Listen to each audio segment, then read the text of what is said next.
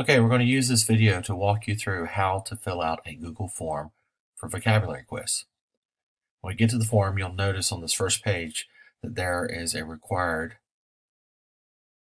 question. It won't let you advance to the next screen until you fill it out. So here you just simply type, uh, type in your name. And then here you choose which classroom you belong to. I'm just going to choose Mrs. Cheney's class, but Mrs. May's class, please know I love you guys just as much. When you're ready to go to the next page, you're going to click the Next button down at the bottom.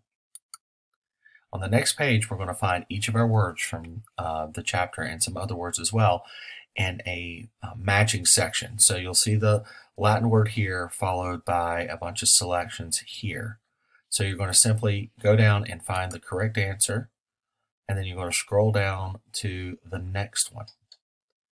Now it's really caref uh, important and to be careful to use the scroll button to move to the next one because if I choose one here and if I use the arrow keys, do you see what was happening here? The arrow keys just simply change your answer. So use the mouse button to do it.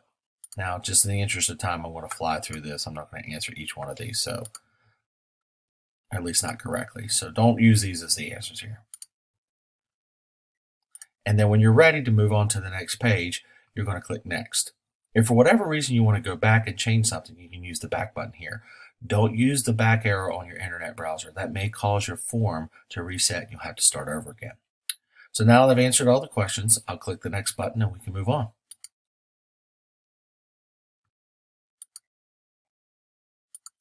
And here we have a drop-down menu. And so you're going to pick which one you think is the correct one. And again, I'm just kind of showing you how it works. Don't worry about my answers being right or wrong. And again, when you're ready to move on to the next um, page and finish it, you're going to hit submit. If you want to go back and change any of your answers before submitting, you're going to click this.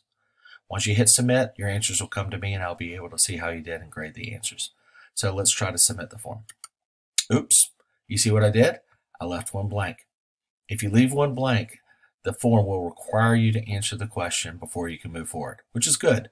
That way you don't have to worry about missing one. All right, now I think we're done. All right, that's all you have to do to complete it. If you're having trouble with it, feel free to email me. I'll be happy to help you out as best I can. Thanks so much, guys. I really appreciate it, and we'll talk to you soon.